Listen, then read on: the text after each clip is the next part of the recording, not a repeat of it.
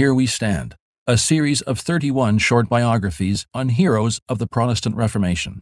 This podcast has been produced by Desiring God in partnership with Bethlehem College and Seminary.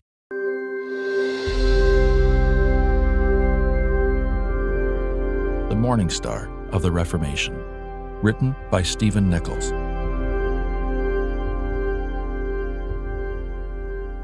John Wycliffe has been called the morning star of the Reformation.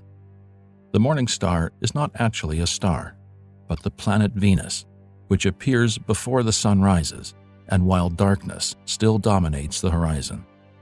The morning star is unmistakably visible.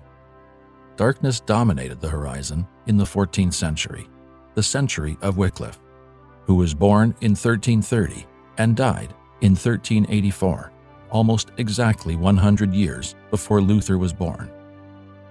By his teenage years, Wycliffe was at Oxford. Thomas Bradwardine, known as Dr. Profundus, taught theology, and William of Ockham, famous for Ockham's razor, taught philosophy. Before long, Wycliffe took his own place among the faculty. Appointed the master of Balliol College, Wycliffe lectured and wrote in the field of philosophy but the tug of biblical studies pulled on him. He applied himself rigorously to the study of theology and scripture. As he did, he realized how much the church had veered off in so many wrong directions. In the 1370s, he produced three significant works as countermeasures to the church's corruption. The first one, on divine dominion, 1373 to 1374, took aim at papal authority. Wycliffe was at a loss to find biblical warrant for the papacy. In fact, he argued that the papacy conflicts with and obscures the Church's true authority, Scripture.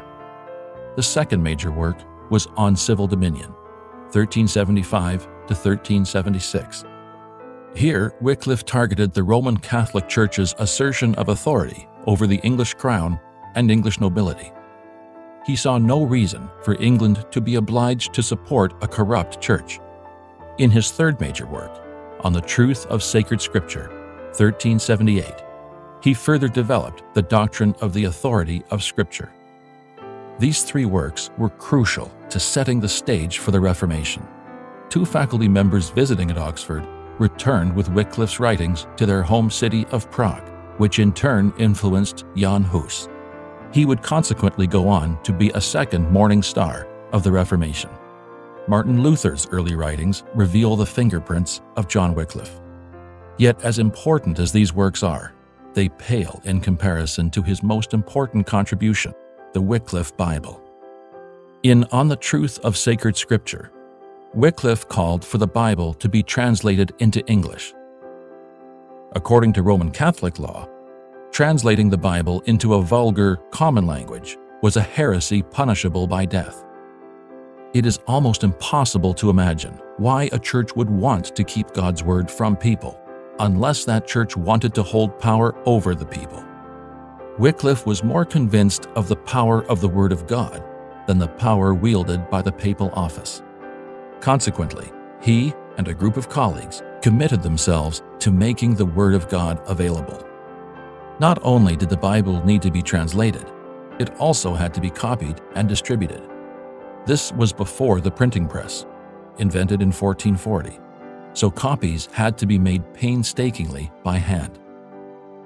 Despite the challenges, hundreds of the Bibles were produced and distributed to Wycliffe's troop of pastors, who preached across England as the Word of God made its way to the people.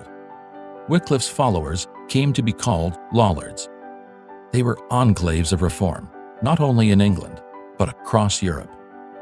These efforts in translating, copying, and proclaiming the Bible in English were driven by a singular motive, expressed by Wycliffe this way It helps Christian men to study the gospel in that tongue which they know best. In his final years, Wycliffe endured falling out of favor with the church and nobility in England. Of course, he had long ago fallen out of favor with the Pope. Yet Wycliffe declared, I am ready to defend my convictions even unto death. he remained convinced of the authority and centrality of Scripture and devoted to his life's calling to help Christians study the Bible. Having suffered two strokes, John Wycliffe died on December 30, 1384.